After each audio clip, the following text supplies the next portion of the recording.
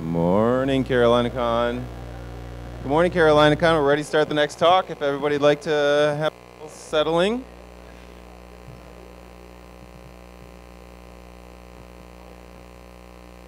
Good morning. Today we have John. He's a frequent conference attendee and has been a past presenter.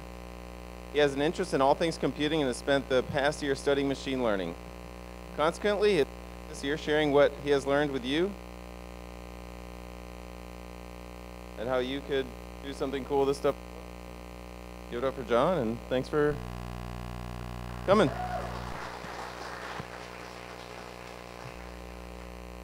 uh, thanks for uh. Uh, wow, that was a really nice talk. The the black hat, the black badge people, that is incredibly significant, and I feel like I'm uh, the Bay City Rollers uh, opening up for the Beatles here.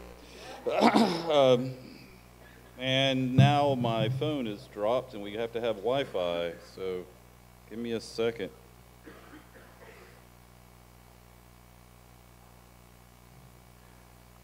we got through the display. Now we're tethering in portable.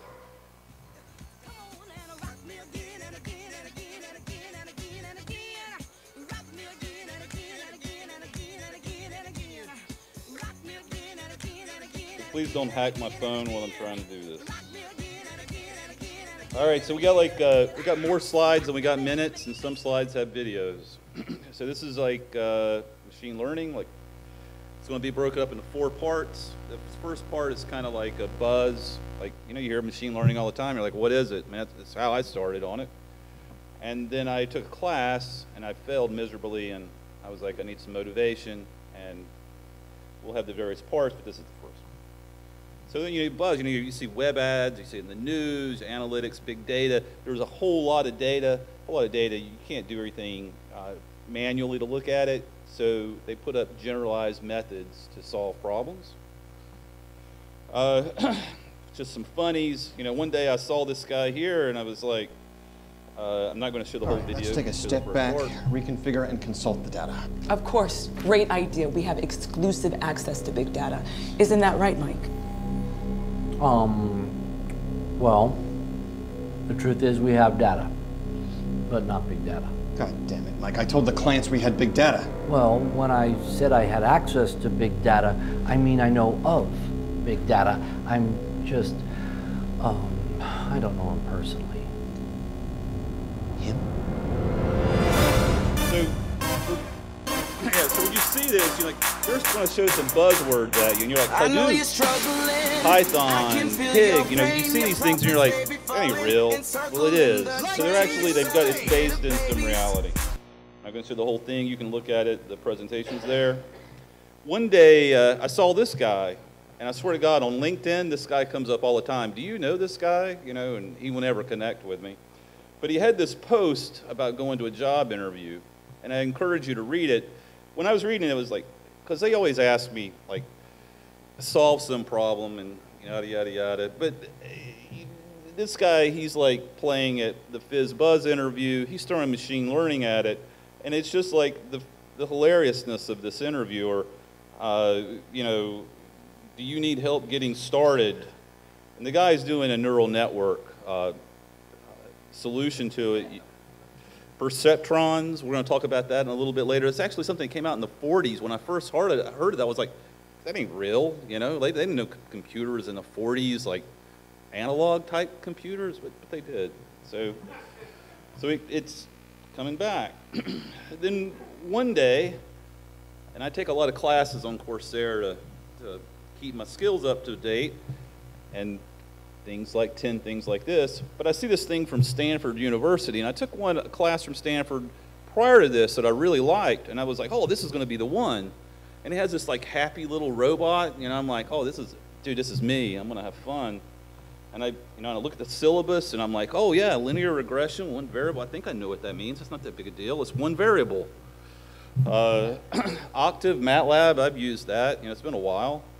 Neural networks, yeah, that's, sounds really cool. And anomaly detection. One of my first jobs uh, as a summer intern in college was was it was a power plant, and they were like looking at all the different motor control centers, and the guy was like taking numbers, putting in a database, so that he could do preventative maintenance. Like when this one motor control center is using too much current, maybe a fuse is getting ready to go bad or something. And then I had just also around this time, I had done like talked to some guys about doing OCR for a job, and I I remember like how they were talking about doing it, and I was like, oh yeah, well I could learn how to do it here, and I could apply it to that, yada yada yada. It's, I'm taking this class. You know, in week one, you know, I'm like, oh wow, this is not that bad. It's, not even calculus really the first thing. This is just summations.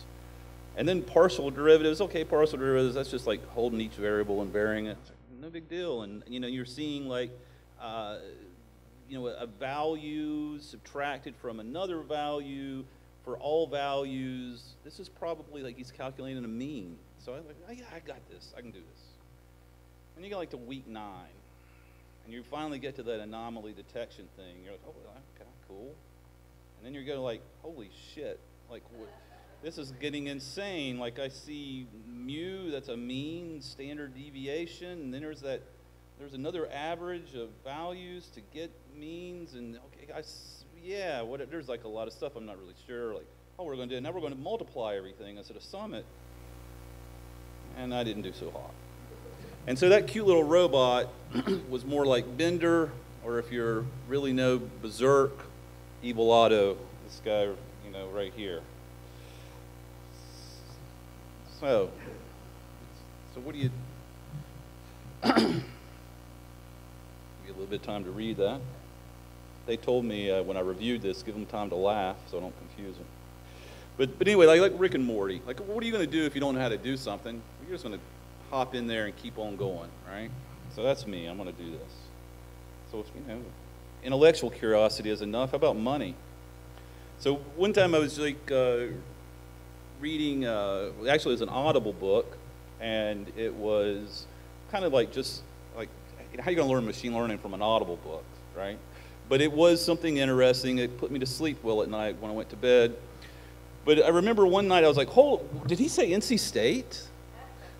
He was talking about something here. Like I did, like the, you were talking about BSides in Raleigh. I, I, I know about BSides in Las Vegas. I don't even know they had it here, but Anyway, I saw this NC State uh, Institute for Advanced Analytics, and guys are graduating, they're making the same money I am after three years. I'm like, what the fuck? How's this happening? You know, like, I, I got to get into this.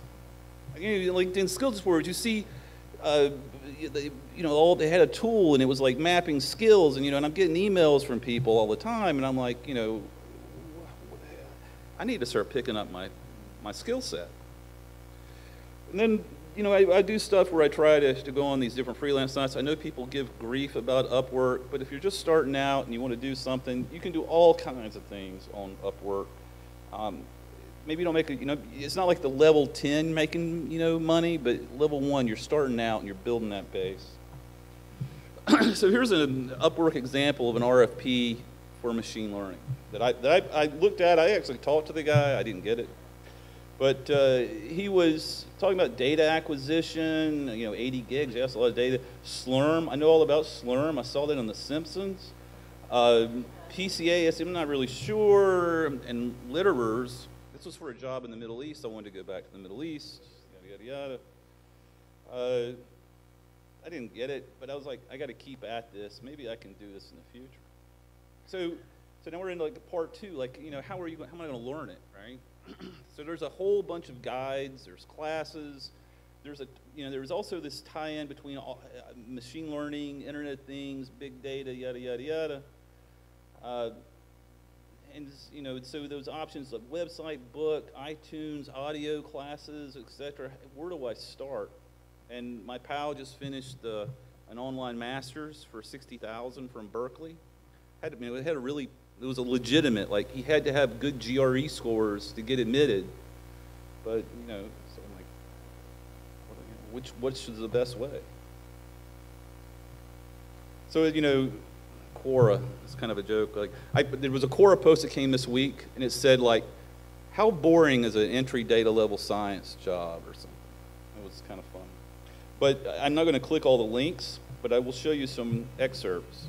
The guy says, oh, Andrew Ng, need to take that class, right? Uh, and when he did, when this guy took it, he was like, I realized I had lacking in skills, linear algebra, calculus, probability theory.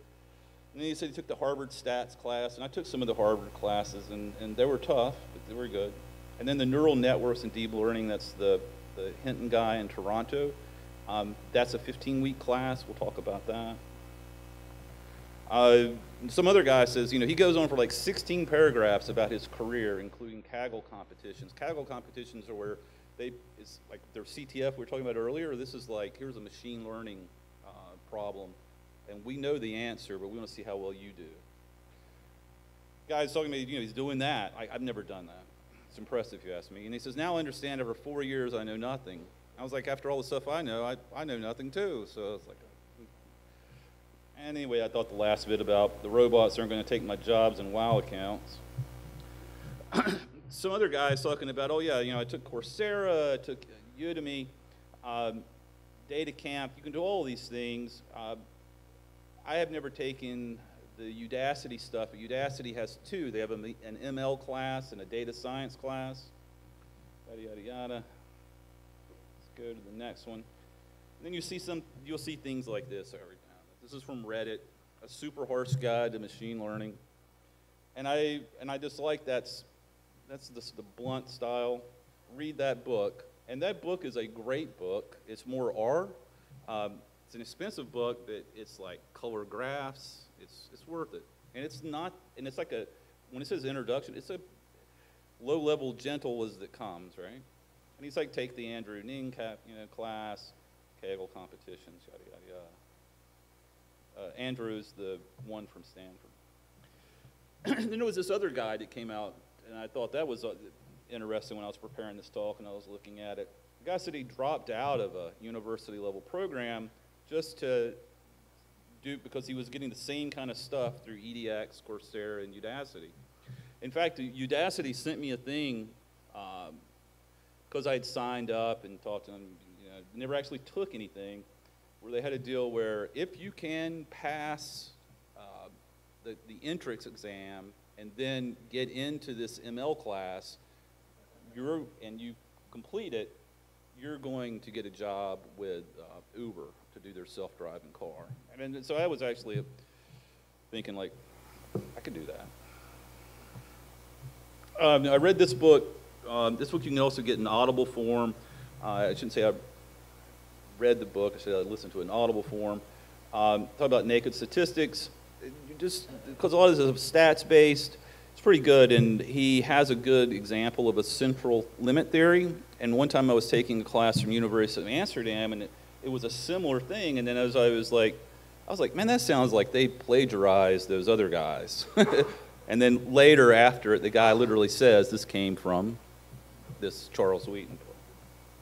They were talking about identifying uh, Americans at a, who were on a, athletes on a bus versus tourists, yada, yada, yada.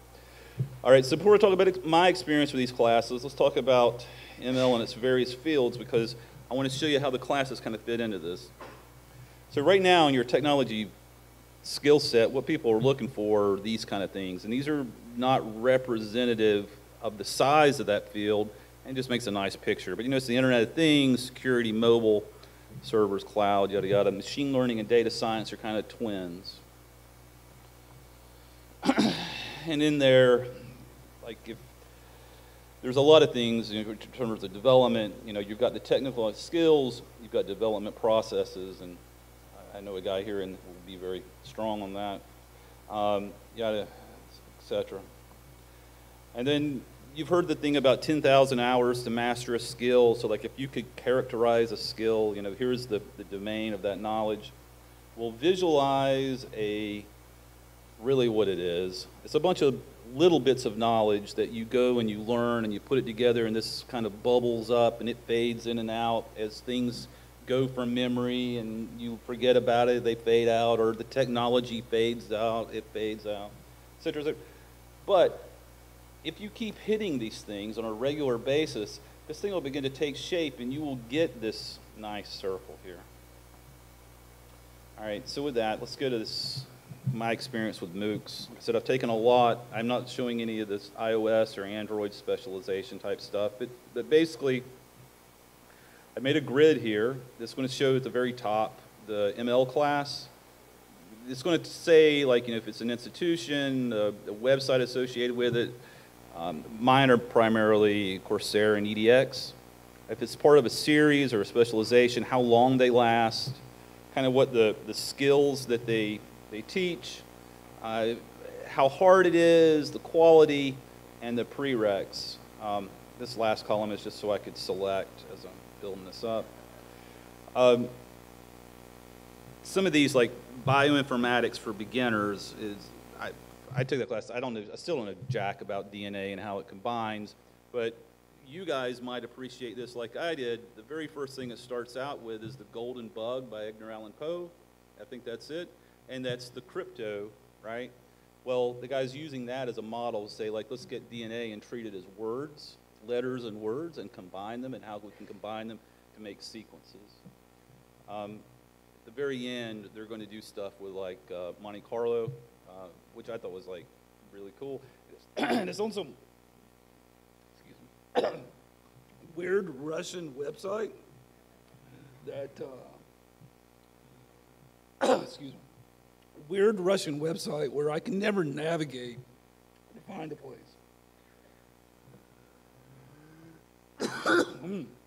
uh, you've got the R programming stuff uh, from Johns Hopkins. I didn't finish the specialization. Oh, yeah, thanks. All right, appreciate it. Some of the stats classes from Zurich. Uh, the Harvard ones I was talking about, still don't know about life sciences. The linear algebra from Texas is, uh, the, the straight math is fine. Thank you, appreciate it. But the, where they're like trying to use their tools rather than using MATLAB in general. I didn't find that interesting. Uh, some of these image processing things and those kind of classes, uh, they've got uh, image processing here at Duke. They got one out at Northwestern. They're really good because when I was in school 20 years ago, it was all audio. Um, lots of, there's a linear algebra class down in Davidson. That's by Charlotte. Uh, embedded systems shape the world. These are like embedded classes. You actually it's not machine learning, but sensors are a lot of times the inputs to ML. And you're actually going to build like a TI part, and you're going to, when you grade your homework, he's literally going to have you run the debugger, and do certain things where you're like plugging wires into a, a physical board, and that it was just like really cool. But that's not so much ML, but it's it's the domain. All right, so, so enough fluff. Uh, you know, show me what you got You may be familiar with this. This part, we're going to kind of talk about the ML algorithms, the tie into big data, and that'll be kind of off at a slant. But it, but like if you take the the Ng class, it's going to be 90% ML, and then a little bit about like how to do it in the big scale. If you uh, do the same thing with the University of Washington, it's going to be same kind of thing, a little bit of slant to the side on, on, uh, big data. But if you do some of the Spark-based classes, you're in the big data arena already, and it, and that's really kind of the emphasis. Uh, algorithms, the big picture. Um, rip this slide off, you know, like a LinkedIn post. Uh, it's talking about the difference between types of ML. There's supervised and unsupervised. supervised learning is where you've got a bunch of data, and in the example I'm going to give, I'm going to have audio waves we're going to get to, and I'm going to say these are samples that are like a something that I'm looking for, and these are just generic samples that I don't really care, and I want to get a binary classifier to classify the two. Um, and in that, I'm going to do this with a nearest neighbor, but I think there is also there is also a decision tree, and he's not showing that. I just noticed on my slide. These are decision trees in regression, but it's a classification, so I would have put it in the other side. All right, so the, here's the one slide guide to regression. Now where we're getting into a little bit of the meat. I hope you're seeing we're coming some easy, we're gonna go down. So the typical example that they always do is like uh, houses and prices. So, you know, a, a graph here on the left, you know, you're going to say like, okay, for a certain number of square feet, we had a house that was sold at a certain sales price. And, you know, if you remember physics, like least mean squares, that's where they taught us the first time, uh, you know, you're going to fit a curve through there that minimizes the error, right? So, well, before they do that, let's, in terms of coefficients, let's just look at a constant, right? There's no variable, and let's click this, and just over the average. And it's not the actual calculated average, I just eyeballed it. And, you know, and that's a kind of a model that's very simple. So the complexity is, you know, and this axis is very small, but the error should be rather large, you know, like the error for that guy. And if you're, if you're doing the error of all the points, it's going to add up, right? All right, so let's hit it again. So let's, how about, let's do a linear curve, you know, and how we're going to find the, the best fit for this. Let's do a quadratic, know, it's second order. You know, they my nice curves there they're always, you know, come up, they reach a max, and they go back down. Well, this one may not be a good fit. Uh, and then you could do like some polynomials. Polynomials, you know, you have a lot of coefficients. You know, you have a, you have the constant term, you have the, the linear term, you have the squared term, the cube term, etc. So however complex you want to make it. And yeah, you can fit every single data point you have, right? But if you have this data point with this square foot, is it really going to be right there? I mean, you know, it, it could be up here, and this curve would, would miss. So when you're doing your training, your train, you, you, as your complexity goes up, yeah, you have no error. But when you put in a test data point, something that was not included in the data set that you included, it's typical the test error will go up. So you kind of want to find the, the sweet spot right here. There's a validation type thing as well, but we're not Uh, and then just getting some errors. I was trying, I should have shown that first, the errors first. This one slide guide, one slide guide to classification. Let's say you're going to try to classify shapes. So you're going to kind of fingerprint them for what they are. So, you know, a square, four sides, all the angles sum to 360, yada, yada, yada. You put all these numbers in and you start putting in shapes, you could find that pattern.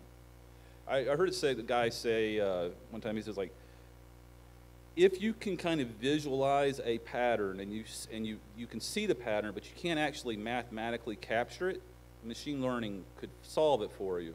But if you can see it and there's no pattern machine learning ain't going to help you. All right.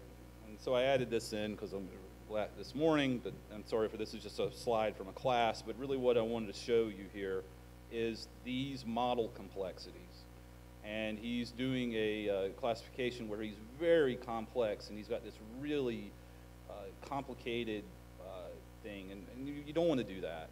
Something that's kind of simple this captures most of the points that are uh, identified as black and that's what you're looking for with just kind of a squared curve. And another way to identify things with this fingerprint is to go with a uh, K-means algorithm. Sorry, I'm putting a, throwing a slide in real quick. He's going to find the nearest neighbors. Uh, if you have K nearest neighbors as in K is 3, you're going to look for three nearest neighbors.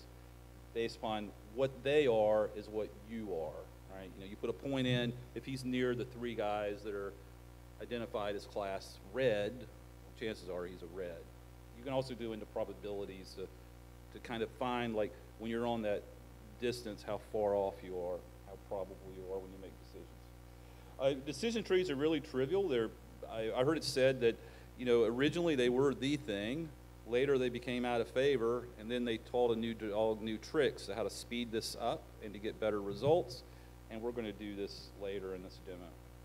And basically, you're saying like, oh, we're going to try to figure out if we've got credit scores that are good or bad uh, or, or a loan is good or bad. So we're going to look at their various scores. All right, so that's kind of the basics. Now we're going to kind of, this is a little bit of a warning as a topic shift, go to the big data. You've all heard of, of Google's MapReduce. There's a link to the paper and how it's working. But one of the things that's nice is it's good for matrices. And it allows you to send out a cluster of computers as a framework for doing stuff quickly.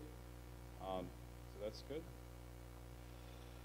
And then here's some, just some slides on how that works, how you're going to take, and it's all a hash map, and so how that hash map collects things.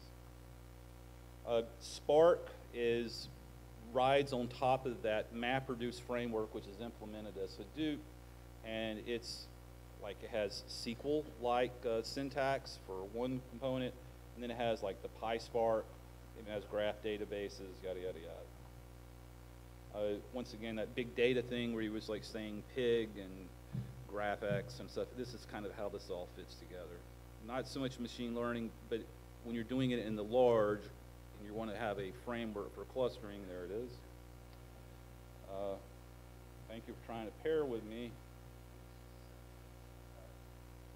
Okay, so anyway, so ML modeling. Uh, ML modeling, uh, we're going to have some training data, we're going to have feature extraction, and feature extraction is things that identify it, right? You know, these are, in those features earlier, we were just looking at square foot, but what happens if you put in like bathrooms, lot size, distance to the hospital, etc. And you're going to determine which one of those in that model are the actual best ones, and it's kind of a feedback loop, and then you're going to throw in the test to see like with testing you actually get these other things and there's a quality metric going up. And so and then also kind of going back a little bit the obligatory neural net slide. Um, I just want to say this was kind of kind of cool to me because when I was in college I picked up this book from MIT Press where this brain surgeon wrote this thing on vehicles and he's talking about analog type of things. Like if I have a, a wheel and the wheel has got a connection to a light detector and the wheel speeds up when it detects light, uh, and you have two of them and you have them uh, crosswise so that the, the wheel on the right will speed up when the wheel on the left gets a, more light, then it will turn that way. The other ones will make it turn the other way, so it would have a vehicle that would literally go to the light. And it's a pretty cool book. Uh, here is a linear class. I'm kind of going backwards. Linear classifiers making gates. Uh, so it's like an analog value. So you know you have this constant coming in of a minus one half. If these two guys fire, if either one of these guys fire, one plus uh, minus one half is still a positive number. Anything that's a positive number would fire this output. And this is, I kind of like these old school papers where they're actually typewritten and you can find the PDFs. This is the Gregory Hinton paper uh, for this, which is the guy from Toronto, which is based upon this old 19, well, I can't remember the date here, uh, or maybe I'm going the opposite way. It's like in the 40s.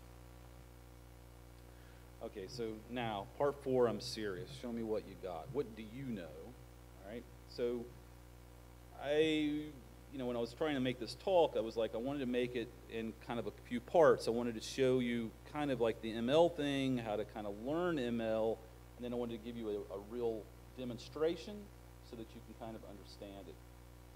Uh, so, you know, there's going to be the goal. We're going to talk about the MVP progression. MVP is minimum viable product. Uh, we're going to talk about a little bit of audio analysis because this is an audio problem. And we're going to do like a demo with that in a couple of different uh, frameworks. So that, so, but keep this in mind, it's unfinished.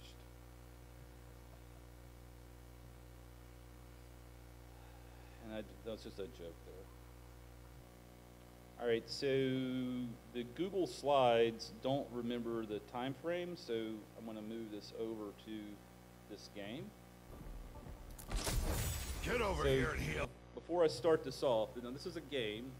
There's six people playing six people. The everybody's a you know human. There's like you're not playing against the environment, so those they're they're making decisions you know to fight against you. You're familiar with that. But in this game, every uh, person that you play has a special ability or ultimate, and they have an announcement that gives you a warning that they fired it off.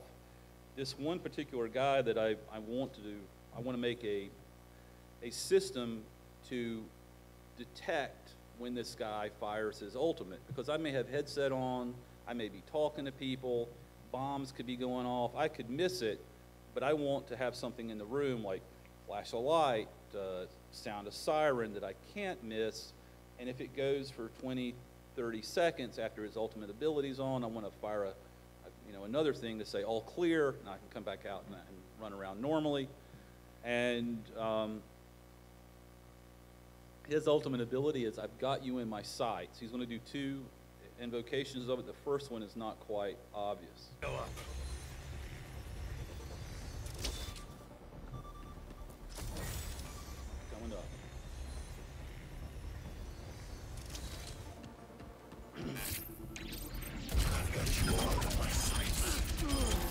Of didn't hear it because the gunshots are going off, but you saw him light it.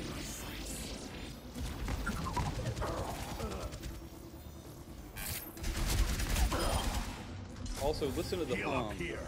I've got you in my sights. Hear that that constant tone? That should be easy to detect right there, right? so. So the typical approach that you find with like an Amazon Echo or a Google Home device, or you know when you hit the uh, you know transcribe audio button when you're talking, what they're doing is they're they've got a waveform, like I've got you in my sights, and they send that raw data, which is this waveform, up to the cloud. Cloud does heavy lifting on it, and then it sends back a yes, no, or if you're doing voice recognition, sends down the character string, right? And they've got all the samples of all the things that people said, and they possibly have your particular sample, so they know kind of what you do, right? I, so typical way I would do this, or should be done, is in this kind of mechanism, right? And you come back and your little electronic device fires a siren, fires the all clear sometime later. Being kind of crazy, I was like, well, I'm going to do this with a little, you know, small embedded board that has DSP capabilities. But what I want to do is I know I can't take all of this data in this little megahertz chip instead of this big, you know, gigahertz computer, I'm going to identify what features of that audio are important, and I only want to test on that feature. I think that can be done. We'll see. Like I said, it's unfinished. It'll be the goal for my fourth presentation here. So like, you know, so like how do I do this? Well, the first thing I'm going to do is I'm going to go to Google, right? That's what everybody does. And I go to Stack Overflow. And if you ever and I, I'm looking and I'm like, okay, DSP, yeah, yeah, I know all about that a little bit. MFCs, you're going to see that all the time. I, to this day, I really don't know what MFCs are, I, but, and I'm going to do some classification with them. Turns out I didn't look at them, but he's also about LPCs, some simple FFT features. FFTs are where you're going to go from time domain to frequency domain, and then you can do a lot of things in the frequency domain. Then I go down here and I'm like, trying to see, I remember I was reading, and some guy, let's see, where was it? One of these guys, I know, I was the answer. Oh yeah, this was the guy. He's not a big answer over. It's like, this is an extremely hard problem. Remember the Mick, Rick and Morty? Well, that didn't stop me. We'll, we'll see what we can do haven't failed if you haven't, you never fail unless you fail to try, right? Sometime later, I find this paper, and it's for a guy, some guys from Microsoft. I was like, I'm not a big fan of Microsoft. If those Microsoft guys can do it with their big budget and the incompetence they have, I can do it. Being negative, the more power to the Microsoft guys. But anyway, so you just look at the paper, and this is about as much as I had to look at it feature analysis. He's going to go down, he's like high zero crossing rate ratio. Well, you know, what is that? Well, you know, it's not, not very difficult to see that he's just counting how many times the frequency counts crosses a zero crossing. Then uh, there's this short-term energy ratio, ZCR, which is a time-based thing. And I'm like, oh yeah, well if I had to do that, like counting samples and once again, going across the sign and summing them up, oh yeah, that DSP will grind through that. That'll be no problem. And LSP distance measure, spectral spectrum flux, and now he's in frequency domain. I'm like, well, I knew I was going to have to do a DSP operation. I, but when I was looking over here, I was like, well, that's like complex math. Uh, may not understand it, but you know, given time and energy, maybe we can. Chroma vector, band periodicity, yada, yada, yada. But the key thing is down here. They're saying that they're going to come in with, with this uh, audio sequence, and they're going to send them to all these different things, and based upon which ones you know are fired, they're going to make some kind of decision, and they're going to be able to say, oh, it's speech, music, environment, or silence. They were trying to look for four classes. I'm only doing two, uh, you know, so I, this is kind of what I'm doing. So they gave me some ideas, and I went off and I started doing some stuff, you know, and, and, so this is the MVP progression that I talked about that I had in my mind. I'm like, first thing I'm gonna do is I'm gonna get some recorded samples. I'm gonna work with it in MATLAB. I'm gonna look, look at some graphs. Based upon those graphs, I'm, you know, and, the results, I'm gonna have this key feature identification and that part is done at this point in time. And then the thing I want to do is I want to take those recorded samples with those ML identified features, implement it in C++ on, on this laptop. You know, this is going to be much more powerful than the, the device that I'm going to. If I can do that, let's do it with live samples. That's like trivial, right? Now we're going to get live audio, four seconds, do it. Let's do it with iOS. Now, one of the reasons why I like iOS is I can write code for it as well, but it's also their Apple prod, Apple CPU is based upon an ARM 8, and it has a SIMD thing in it. So you know, it's kind of like a similar device. If I can do it there, then maybe I can go down to the next level, which is the F4 STM32 F4. It's kind of like a it's a Cortex M4. Uh, it's a Harvard architecture, meaning that you can. It's good for doing max, multiply, accumulates. Uh, that's like how much memory it has. Uh.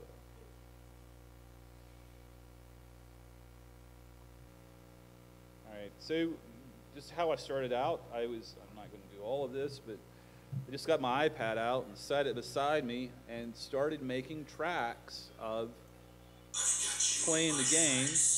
And that's a clean audio I've got you in your sights I saved. That's sample one. Uh, another one, and I was kind of. I'm, did you hear I got you in the sight? And you hear that tone after it? Uh, and I'm just kind of trying to line them up so that I'm going to be, when I start sampling, they're all going to be on the, the same time frame.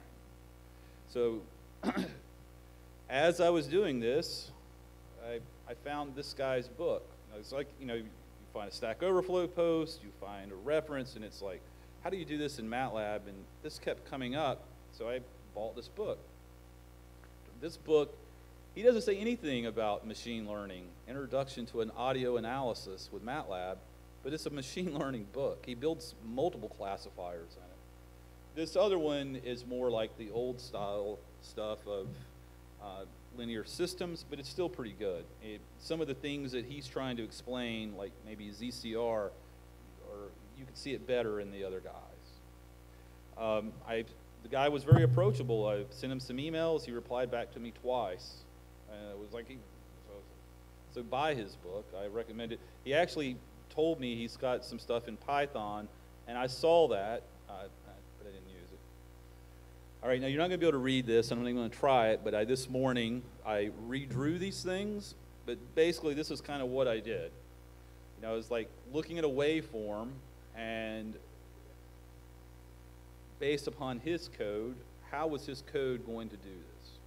And it's a slight tweaking, but he's basically going to, you're going to window your time-based signal for 40 milliseconds of uh, time, and you're going to, with no overlap, sample them. Uh, then you're going to combine these up into all of these different features, and I will show you this based upon frames and then you're going to get midterm features where there's a you got that still that four second of audio I've got you in my sights that's how long it takes and now you're going to have some overlapping of short-term features into midterm features and then you're going to get your final aggregation of uh, a number right for each sample for, so let me go here.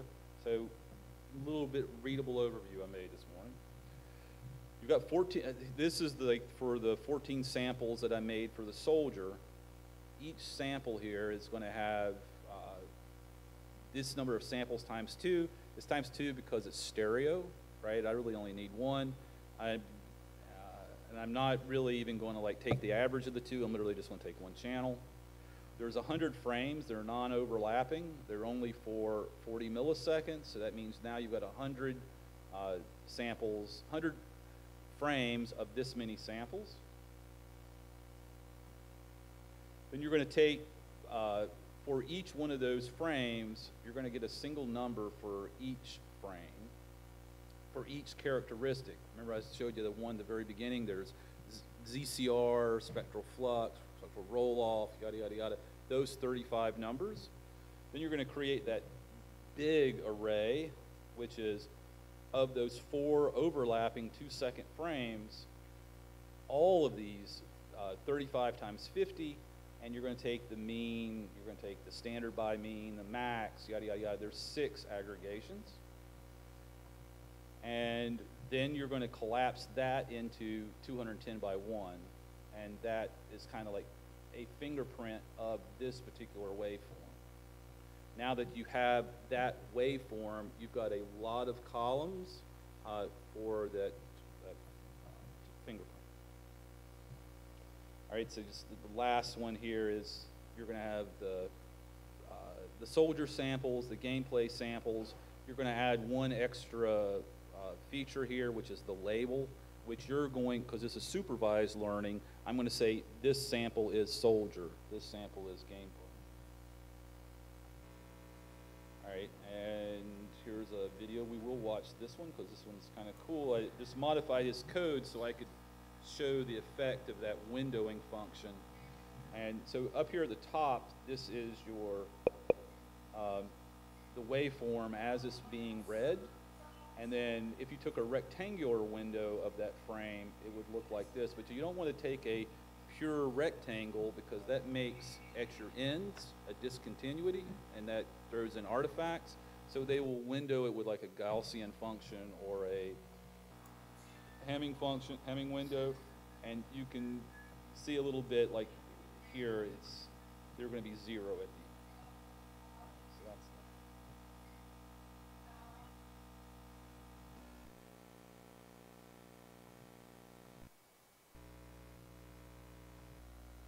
And then with that, just eyeballing it, looking at for that, here's the waveform for this particular sample.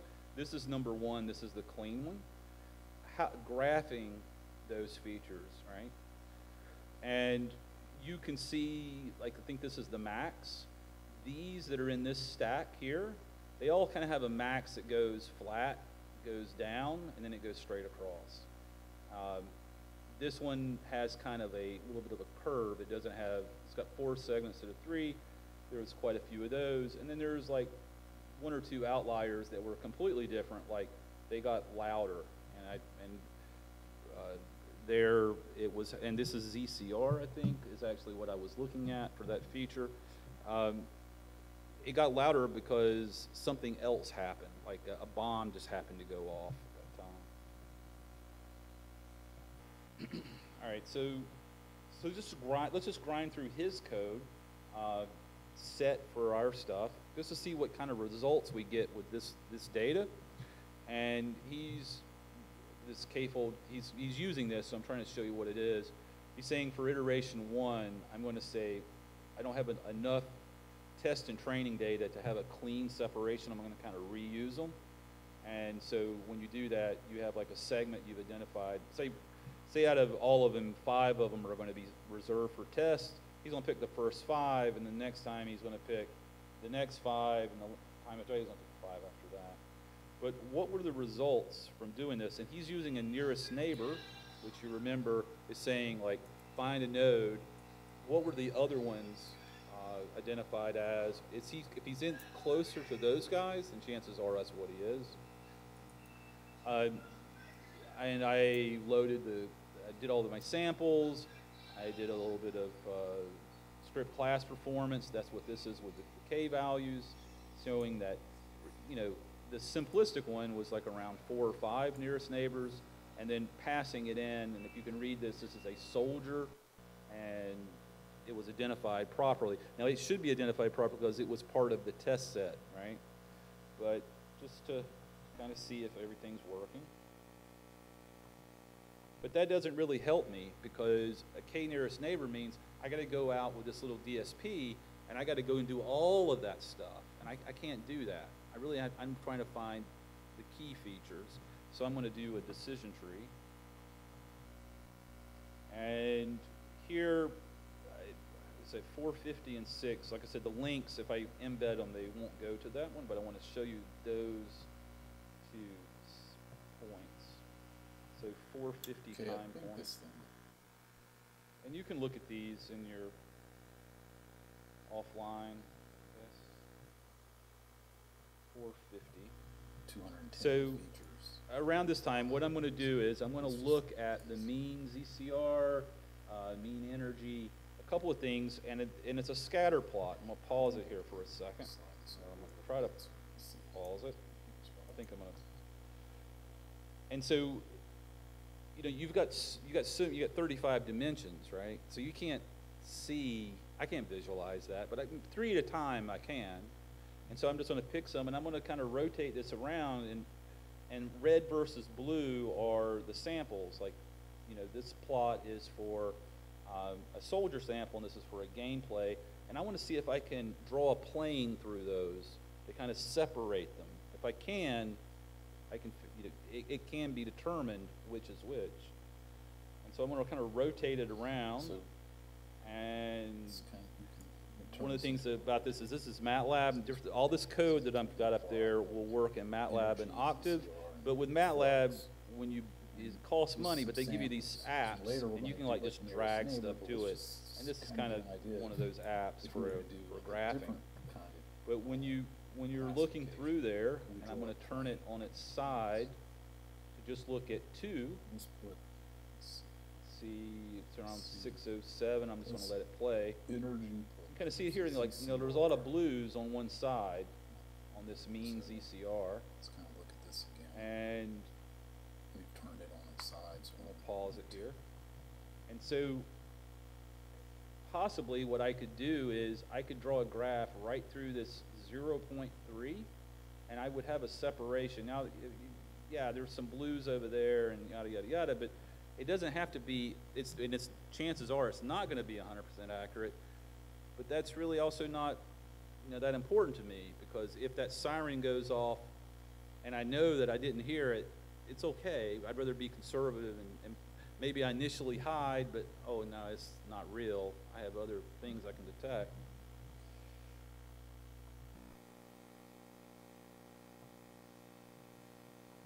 So here is another one.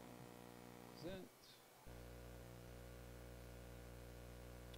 So this is a um, that same app, MATLAB, but now I'm just going to say like, okay, given I've, I've you know I've saved off my data, I have everything in one big table. Let's just throw that table into uh, their their machine learning app, and let's just play with it. See how it works. All right, so And I forgot So to look so I guess- the. It is three ten. And the next one was 17. So let's. all right, so I, and the, what's leading up here is some of this in the beginning is some these different models.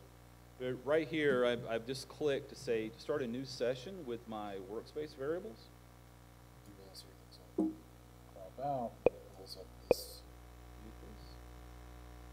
And basically for this combined samples um, thing that I've created, you can see all of the different features. And I know it's not readable, but there at the very bottom will be that label. And it's kind of cool how MATLAB will find that that is the one categorical variable that it would detect as the response variable. And so it's already figured this out. I should scroll down here in a second. and there it is, right? That's what you're looking for. That's your target. And let's see, go to seven. And it's building a confusion matrix. You're seeing for this one, he's only identified, I think that's a seven out of 14 were soldiers. And it was not that good a selection for the, I'm showing here like how to uh, configure this for different uh, characteristics. But here's one that's interesting. I think that's 13 and 3. So 13 of those soldier samples were identified, right? So that's promising. Based on a decision tree. Uh, this is a uh, another app, and I, I think this is worth showing to people who are just starting out because this uh, KNIME, it's a Konstanz, which is a university in uh, Germany, uh, data mine, data miner or something or something like that. Uh, but it's it's kind of a drag and drop thing. It's based upon this thing called Weka. Basically, you have a node that reads a CSV. You configure it, say like what the file name is. I, I had noticed that there was a column of data, and it was in, actually I think in the either in the MFCs or the chroma vector had a bunch of not a numbers, so there was some sort of error. And so I just want to take that one out because that's not going to be part of my consideration. Uh, a color range is just saying, you know, if, uh, if a value is a soldier label, I want to say a soldier is blue to match whatever MATLAB was doing. Uh, it has a, uh, a thing where it splits off your of your samples, which part is training and which part is test and you have a learning tree uh, model and then the results. And what number did I say? Nine minutes. It's funny, when I did this, I didn't realize I had hit the wrong button and I was looking at a max instead of a min, but let's compare something here. Let's pause this. So this pane here is the decision tree saying, hey, I've I've, I only had to do one split. The one split that I came up with is max spectral roll-off, which is one of the frequency characteristics. And if I look at that, yeah, sure enough, look right here. If I were to draw a line through there, primarily the random gameplay samples are to the left. And, and this is the MATLAB app. I'm just using that app to kind of look at things. And over here is the soldier samples. However, it turns out I think that this was max and I picked mean. So it's not, but if your max is greater, there's a good chance maybe your mean is also corresponding. Uh, Splunk, the only reason I, I'm going to show two examples, I'm going to show where it worked and where it didn't work. I had done some work with Splunk, um, which is like this tool for big data, but it has a machine learning capability in it. And I kind of was like really wanting to be a big fan of Splunk because when I went out to DEF CON, the guys that do the Wall of Sheep, I think they're sponsored by Splunk. And so I was like, oh, this, this could be cool. But it's, it's an expensive tool. And when I got like the community version that I could use forever for free, uh, it turns out like the ML stuff won't work with it, so I have to like try to go back and get the paid version to get that tool in, and, and it's like, yeah, anyway, the bottom line, and it had problems, so it didn't really work. But I will show you that with all its like fanciness for doing stuff for you, it gave me a result where um, I'm just going to get to the end here, right here, where he's saying like, hey, my accuracy is like 1.0. This guy is, he'll find every sample for you. But the problem next is, well, what, how, how did you do it? What was your decision tree that you came up with? I don't know how to query that. And with all like the little buttons you press, I didn't see it. And what little query that I know from it, I couldn't figure it out. But you want to, it's, you know, it's something to look at. And I can't believe we've come to the end um, but here is a, and I, I want to show this. This is the example from, uh, it was like a homework slide. I'm just going to show. Basically, what I did was I took a homework assignment from uh, one of these classes. Uh, it's the University of Washington, where they're they're using a thing called GraphFrame, uh, gra- and they were uh, Graph Lab. They they were bought out by the guy who started it. Got bought out by Apple, and they're part of that big Apple thing. So it must be uh, pretty good. But I think maybe the reason they bought him was he did a really good job of explaining it. He has a good tool that works very fast, and it's in these IPython notebooks, which are similar to, to from my perspective, math, Mathematica notebooks. You know, where you you have cells, you put in stuff, and you hit Shift Enter, and you get a result. And there's a lot of tools like this, but it also has that big data frame. The data frame, pardon Graph Lab, I think it's a graph you earlier, but uh, data frames, are, the first time I saw them, are similar to what you see in R, which is basically a bunch of, uh, it, it's, a it's a matrix, but it's a matrix that can hold multiple values. So you could have a column that has floating point numbers, you have a column that has uh, integers, you can have a column that has uh, text data. So let's go ahead and hit it here. The wrong buttons.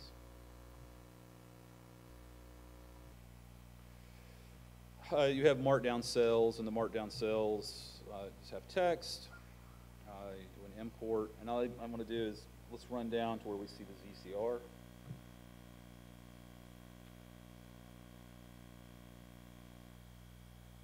Uh, one thing here, whenever you, this is an active cell, and this is kind of like the results. Whenever you see an asterisk, that's where it's like trying to figure out, you know, it's doing work, and then it's going to show you the results. And I did this this morning. I just want to show you what's going on. Is it actually advancing? There we go. Uh, basically, here you're going to say like that label, you're going to make it into a plus minus one plus or 1 or minus 1 instead of text. Uh, then uh, this part he was trying to say if you're really going to do this you need to have your classes of your data balanced and he was saying like get the ratio of sample of class X uh, samples to class Y and then undersample the one that has the most to give them uh, kind of an equal split but what happened with to get more accurate results. But what happens here is the algorithm that was in place is for a lot of data. Like there's sections later where he's saying under the decision tree, it's okay if, if I have a node with 50,000 samples in it. Uh, I, I, I've got like, what, 55 samples, so that ain't really going to work. And then when I downsample it, I ended up with like 22 samples. And so it, it didn't work very well at all. So, but with the ones that are there, it's okay. And I, I was just kind of, I made a point here, say like, as you take this class, you're going to be building up routines where they would say like, here's a function signature, you put your code in here, and that's what you had to figure out, and it kind of carries forward. And this was all like on loans, like, uh, we're talking, you know, is it a good loan or a risky loan? but let's see what he gets for the splitting function. Uh, those are just routines, so they're not, it's just setting up the routines, not actually doing anything. But here it's creating the tree. Uh, let's go. Uh, so here he's saying like I split on mean ZCR, which is which is good because it kind of validates what we did it when we did it a different way, right? Uh, but what's the value that he split on? And I believe I will show that. That's just showing you kind of like how you could print out the graph. I think I left it right here at the end. So yeah, he's not, he's saying on that mean ZCR, it's the feature, not the value equals one. Um,